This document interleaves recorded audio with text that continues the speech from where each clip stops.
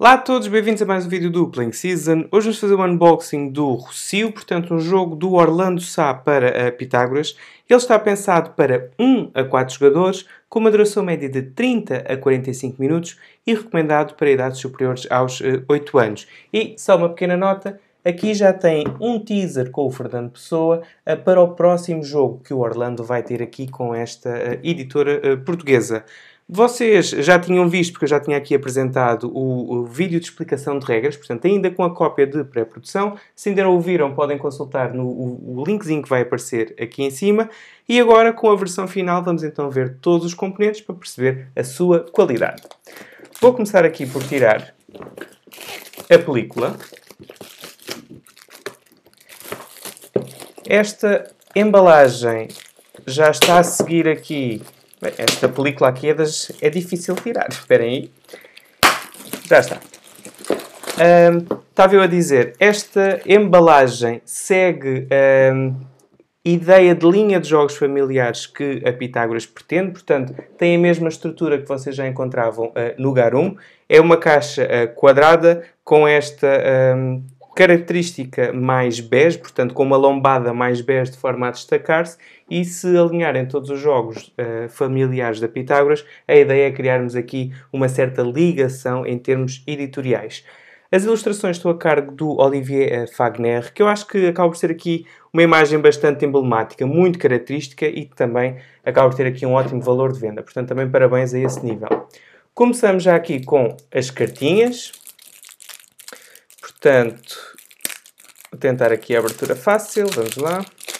Já aqui está. Portanto, não se esqueçam, as cartas têm sempre dois lados. Portanto, este lado onde podemos ir buscar os reis e depois este que nos dão os pontos se conseguirmos aqui... Uh, desculpem, que tem aqui o valor e que nos dá os pontos se conseguirmos aqui criar os respectivos uh, padrões. É importante perceber que cada cor está associada a um padrão, de forma a também facilitar a percepção do jogo, do jogo para com uh, os daltónicos. Portanto, estes são aqui os diferentes uh, versos. Estas cartas aqui, pois, são cartas especiais. E depois temos aqui todas as frentes. Esta é a mini expansão uh, dos nodos. E depois temos aqui as cartas finais, que são um bocadinho fininhas. achei que podiam ser um bocadinho mais grossas, mas até faz algum sentido porque as cartas andam constantemente a deslizar no nosso tabuleiro. ok?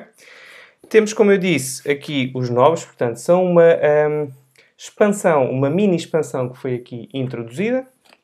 E depois temos aqui uh, material promocional, portanto, da Pitágoras. E temos aqui as cartas para o modo Sol, que inclusivamente diz aqui Rocio Sol, e depois tem aqui esta setinha, mas podem ver tudo aquilo que tem já aqui na parte da frente. Ok? Depois, vamos lá. Temos aqui o manual de regras. Portanto, é um manual uh, bastante quadrado. Esta é a parte portuguesa. É um manual grande, lá está, mas é bom porque também se consegue perceber bem todas as regras que estão aqui uh, indicadas. Ele tem cerca de 12 páginas e a seguir temos o manual em uh, espanhol.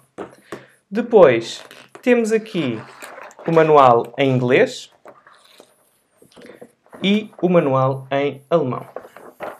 Mais coisas. Saquinhos, portanto, dão sempre jeito quando temos várias peças. Temos aqui as pranchas, ou as pecinhas para montarmos aqui a Praça do Recio, indicando aqui o número dos jogadores que vão estar na partida. E depois temos aqui estes pontinhos uh, que também uh, vamos colocar na outra extremidade e que podem indicar aqui a dificuldade que está associada ao jogo. ok? Depois temos as pranchas de jogador, portanto, os, os componentes em cartão são muito bons e tem aqui, não é um género de plastificado, não é bem um verniz, mas é aqui um material com uma qualidade muito boa, portanto, é bastante interessante que também o tenham feito, acaba por dar alguma resistência e a própria impressão também está com ótima qualidade.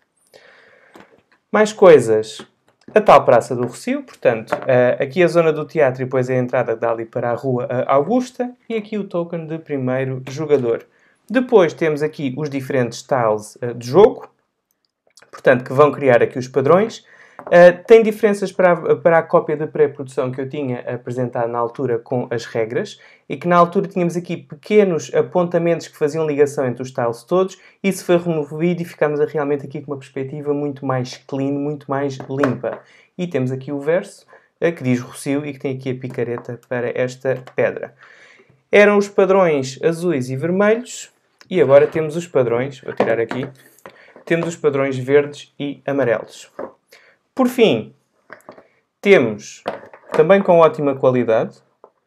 Muito bem. Temos aqui as moedinhas de 1 e de 3 e depois aqui os tokens de pontos a valer 1, 5, 10, 3 e 50. O 3 é especial, vai estar só ali na zona de fim, como também já viram no vídeo de explicação de regras.